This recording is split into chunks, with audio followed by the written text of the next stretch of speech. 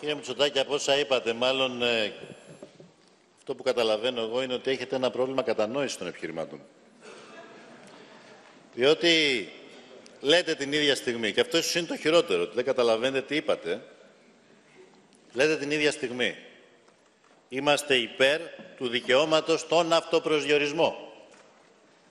Το οποίο θα ήταν κάτι απολύτως ε, συνεπές ε, σε κάποιον που δηλώνει φιλελεύθερος.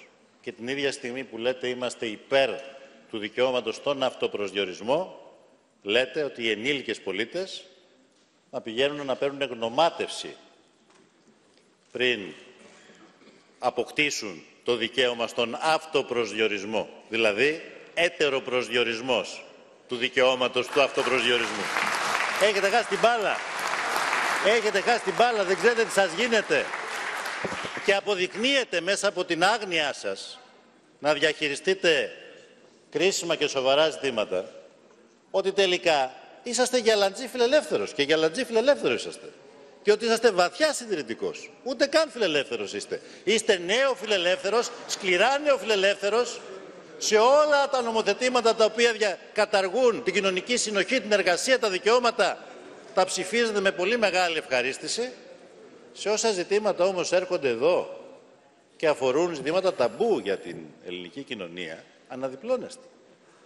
Το δεύτερο που δεν καταλάβατε είναι ότι δώσατε ένα ατυχές παράδειγμα. Εγώ δεν σας εγκάλεσα διότι μπορεί να μην είναι αληθές το παράδειγμα το οποίο δώσατε. Καθίστε κάτω, δεν είπα αυτό. Σας εγκάλεσα για την επιλογή σας να δώσετε αυτό το παράδειγμα. Καταλαβαίνετε τι κάνετε. Καταλαβαίνετε τι κάνετε. Δεν είχατε άλλο παράδειγμα να δώσετε. Δηλαδή ουσιαστικά τι μας λέτε; Μας λέτε για τον κόσμο που μας ακούει, τους πολίτες, τους βουλευτές, ερχόμενος εδώ στη Βουλή για να δώσετε το παράδειγμα ενός ανθρώπου στα 18 του που έχει χρήζει ψυχιατρικής στήριξης και γι' αυτό άρα ήθελε να κάνει αλλαγή φύλου, να αποκτήσει το δικαίωμα στον αυτοπροσδιορισμό, δίνεται την αίσθηση ότι ταυτίζεται μια ολόκληρη κατηγορία πολιτών, συμπολιτών μας, που έχουν αυτό το δικαίωμα με όσους, πιθανώς ελάχιστος, να αντιμετωπίζουν ψυχολογικά προβλήματα. Και αυτό είπα την εντροπή. Ούτε που το καταλάβατε αυτό. Αντί λοιπόν να έρθετε και να πείτε εντάξει εκ παραδρομής, έδωσα και ένα παράδειγμα, αλλά υπάρχουν προφανώς η πλειοψηφία των υποθέσεων δεν αφορά ανθρώπους που χρήζουν ψυχιατρικής στήριξης, επιμένετε σε αυτό. Το χειρότερο λοιπόν είναι ότι δεν καταλαβαίνετε κύριε Μητσοτάκη. Και θέλω να ξεκαθαρίσω κάτι.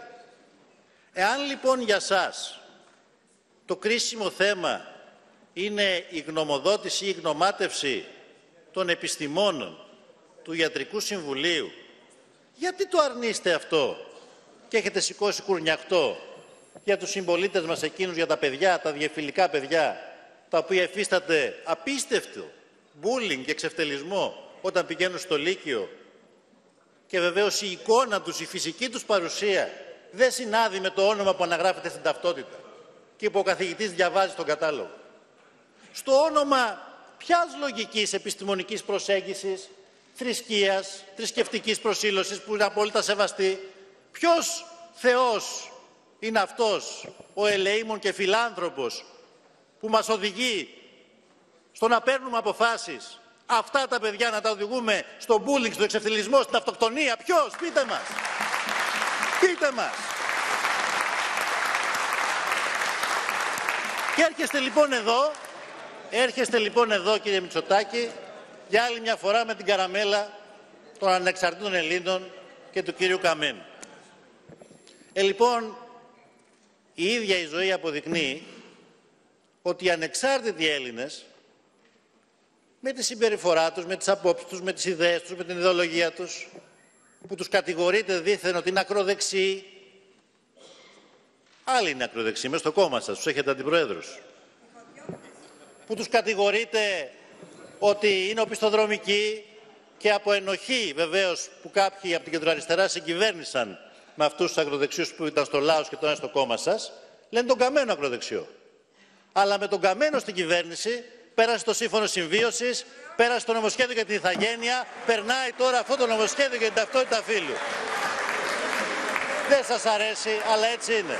Παρακαλώ, παρακαλώ, παρακαλώ. Και Ησυχία, κυρίες και ησυχία. κύριοι συνάδελφοι, αυτό το οποίο έχει σημασία, αυτό το οποίο έχει σημασία είναι ότι σήμερα θα έχουμε μια πολύ σημαντική και μεγάλη τομή για τα ελληνικά πράγματα. Επί της αρχής ένα νομοσχέδιο κρίσιμο για τη διεύρυνση των ατομικών και κοινωνικών δικαιωμάτων, ένα νομοσχέδιο που είναι βήμα προς τα μπρος και που μας κάνει να πηγαίνουμε προς την Ευρώπη και όχι να φεύγουμε από αυτήν, κυρία Μητσοτάκη, διότι και αυτό δεν μπορεί να είναι à la carte, θα ψηφιστεί. Και θέλω λοιπόν να σας ε, διαβεβαιώσω ότι ναι, υπάρχει η επιστολική ψήφου του Υπουργού που επί της αρχής ψηφίζει υπέρ του νομοσχεδίου και υπάρχουν εδώ, ναι, διότι αυτό είναι το κρίσιμο κυρίες και κύριοι συνάδελφοι, το νομοσχέδιο αυτό θα περάσει με μεγάλη πλειοψηφία επί της αρχής και θα περάσουν και τα κρίσιμα άρθρα του, είτε το θέλετε είτε δεν το θέλετε κύριε συνάδελφοι.